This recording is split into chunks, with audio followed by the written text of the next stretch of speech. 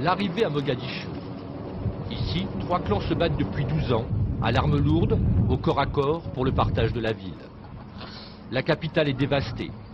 Risque d'enlèvement, de meurtre, impossible pour un occidental de circuler sans garde du corps.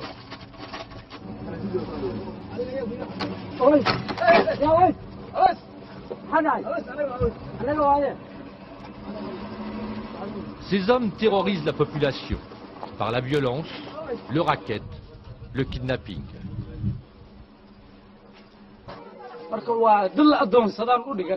Les enfants qui vivent ici n'ont connu que la guerre. Ils ne peuvent pas comprendre que dans ce quartier avant, nous pouvions nous respecter, nous aimer. Nous sommes les otages, les esclaves des trois clans qui terrorisent Mogadiscio. Les chefs de guerre utilisent les minorités ignorantes pour combattre. Et il règne ici une telle anarchie qu'au sein d'un même clan, les hommes en arrivent à s'entretuer. Pour n'importe quoi, mais surtout pour leur drogue. Quand on n'a pas de 4, on se bat pour aller en chercher. 4, 4, 4, 4, le 4. Qu'est-ce que le 4 C'est quelque chose que l'on prend après le déjeuner, l'après-midi. C'est pour les miliciens Oui, oui, c'est pour les miliciens. C'est un rituel. Les combats cessent tous les jours vers 15 heures. L'heure de la mastication du 4, cette plante hallucinogène. D'abord, les miliciens entrent en léthargie. Puis, dans quelques heures, viendra l'excitation, la folie. Quand je prends du 4, je deviens fort, riche, et personne ne peut m'atteindre. Si je n'en trouve pas en quantité suffisante, je tombe malade, j'ai mal à la tête.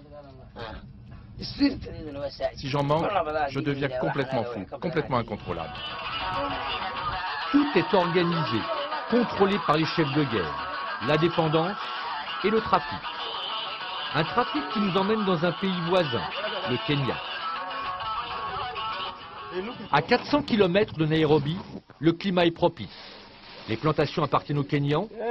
Ici, une botte de 4 est achetée un quart de dollar. Elle sera revendue 20 fois plus cher à Mogadiscio par les chefs de guerre.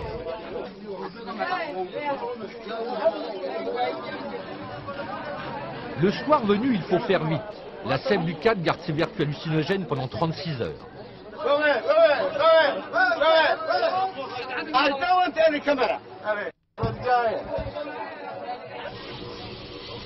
Ce sont les chefs de guerre qui organisent aussi le pont aérien, grâce à l'argent du trafic. 9h du matin, aéroport de Mogadiscio.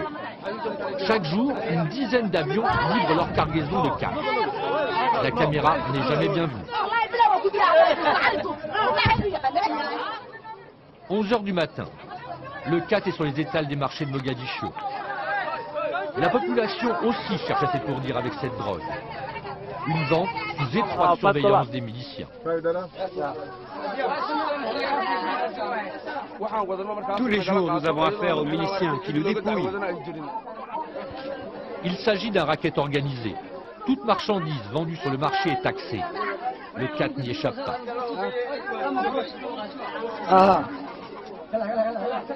La nuit tombe et les tirs commencent. Ces combattants reviennent d'une ligne de front, d'autres vont y partir. C'est complètement fou, il y a trop de haine. Tout le monde se bat, c'est odieux. Ça devient un jeu. Le jeu mortel des chefs de guerre. L'argent du 4 leur sert à acheter des armes, les armes de la guerre civile. Aujourd'hui, rien ni personne ne semble pouvoir arrêter ce cycle infernal.